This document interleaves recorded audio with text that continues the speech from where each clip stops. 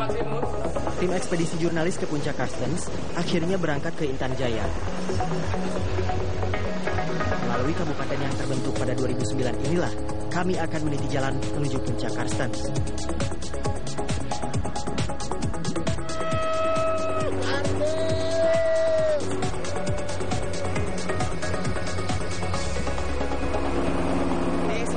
Pesawat terlihat barisan pegunungan Sudirman. Di sana ada puncak tertinggi di Indonesia, puncak Kartens yang bersanding dengan puncak lain. Salah satunya ada puncak yang bersalju dan kelihatan dari sini di antara awan-awan yang terlihat mencuat.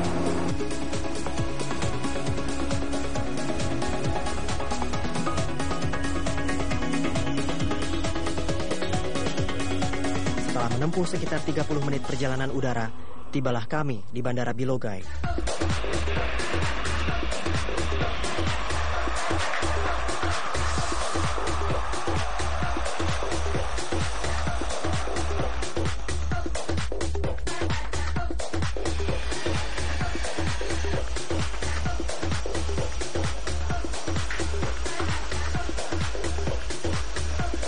Kedatangan kami pun disambut para warga distrik Ugimba, perkampungan terakhir sebelum menuju jalur pendakian Puncak Karstens.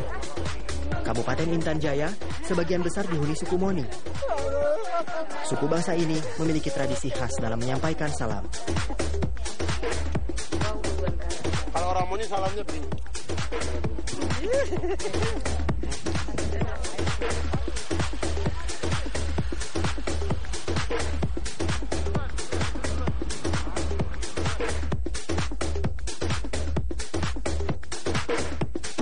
Kami pun bertolak menuju sebuah penginapan di distrik Sugapa, distrik pusat di Kabupaten Intan Jaya.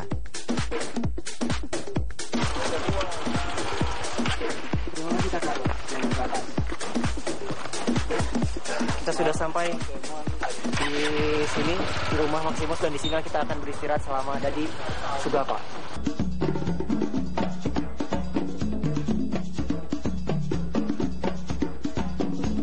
Setelah tidak lama beristirahat, kami menjelajahi berbagai keindahan di distrik Sugapa.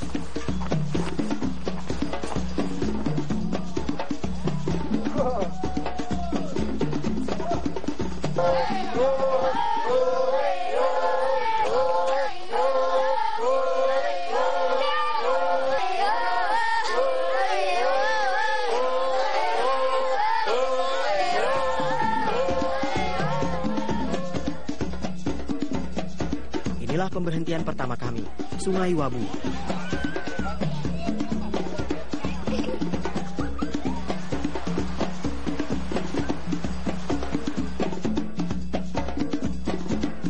Di sungai ini, puluhan pekerja mengumpulkan batu. Tumpukan batu-batu ini nantinya dijual seharga Rp300.000 per satu gundukan. Jadi saya baru jelaskan, baru jelaskan kepada masyarakat warga di sini bahwa mulai dari kepo, asap, ma- manusia ada di sini, kebun, pohon-pohon, semua yang ada sekitar sungai uh, Wabu ini, Wabu ini sudah direkam. Nanti ini kita tayangkan di televisi, mereka bilang,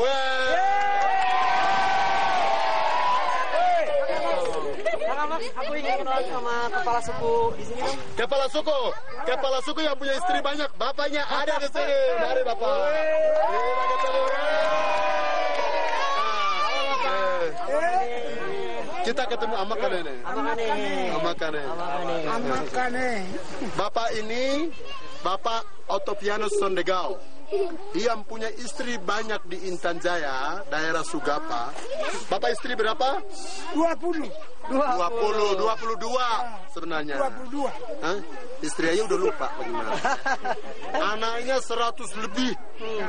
Lebih, lebih. Hmm? Anaknya sudah jadi ketua DPR di sini. Anaknya juga juga jadi kepala dinas perhubungan. Dan bapaknya udah sederhana. Jadi kita bisa berjumpa di Sungai Wabu. Jadi Bapak kalau mau datang silakan datang. Baik, sini siap layani. Kasih. Itu, itu salah satu anaknya kepala suku, Bapak Octavianus. Masyarakat itu ramah tamah di sini baik. Betul ya, Bapak? Betul. Betul ya? Betul. Nah, baik tapi pemerintah harus dorong supaya pariwisata ini dibuka. Bapak kepala suku, masih mau nambah istri tidak? Minyak tambah di utara ini. Asan bagi yang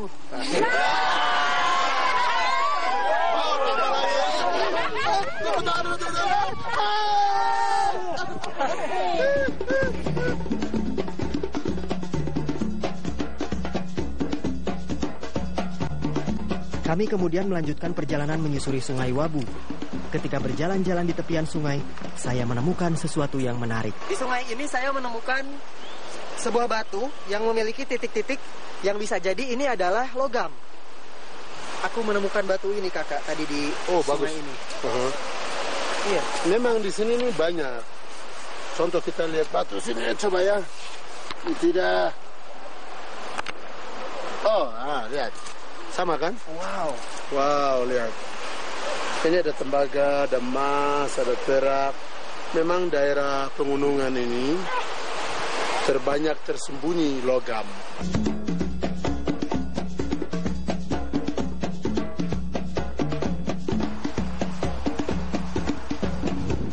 Kekayaan alam Kabupaten Intan Jaya membuatnya kini berstatus kawasan eksplorasi pertambangan PT Freeport Indonesia.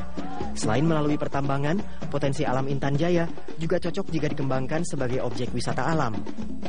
Karena ketika menjadi kawasan wisata yang dikelola dengan baik, masyarakat setempat berdaya, alam pun tetap lestari.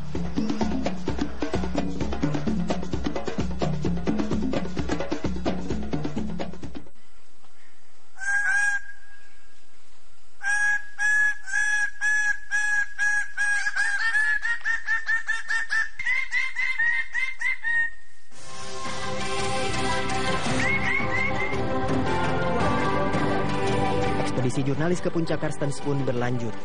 Selamat menuju ke Kartens melalui Ugimba dan Sugapa. Dua orang wartawan Detik News dan Sinar Harapan menempuh distrik Ugimba untuk menuju puncak Karstens. Tim 1000 meter Metro TV dan wartawan dari lima media lainnya tidak bisa bergabung karena keterbatasan waktu.